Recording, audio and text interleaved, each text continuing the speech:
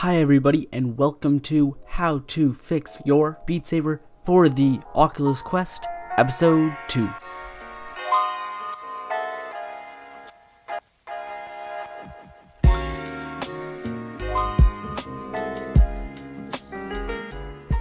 Hey guys, welcome to episode 2 and I would just like to say if you have any specific questions you want answered and you don't have time to watch through the whole video, just go down into the description where each question will be timestamped and you can just go to that question and watch it through. And yeah, let's get right into it with question number 1.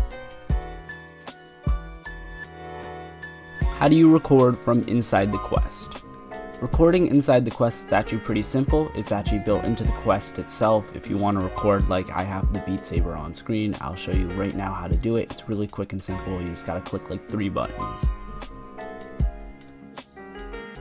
After I modded Beat Saber and opened it back up again, all I saw was a black screen.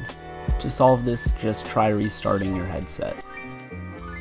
Is there a way to add songs from your PC instead of from the Quest? Yes, but it's a bit complicated. What you have to do is you have to take your headset, open up BMBF from within your headset, then go to any web page of choice, type in your headset IP along with the port for BMBF. And if that doesn't work, plug in your headset to your PC, then all you have to do is open up the web page like you did in the other way, and it should work. How do I check what version of Beat Saber I have? Truth is, you really can't. The versions are kinda just by um, what sound packs they drop, and that's about all you can be able to check. You'll be able to see by a change in thumbnail for the game, but that's about it. But you can check what version of BMBF you have. When you uninstall Beat Saber, does it delete all of your progress? Yes and no.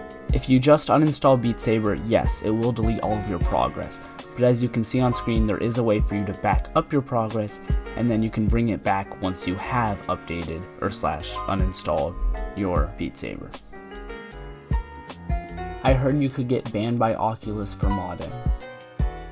You cannot, but with that being said, do mod at your own risk because not all files are safe and of course, yes, you might void your warranty. After modding, my blocks got very laggy. This problem actually coincides with another problem, which is not being able to start some songs, where you can see them in your playlist folder, but when you click on them, nothing shows up. All you can hear is the music. There's one mod that will fix both of these problems, and that is the mod that is on screen.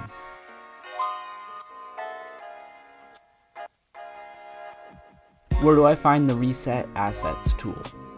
That's actually a very simple one, just follow what's on screen.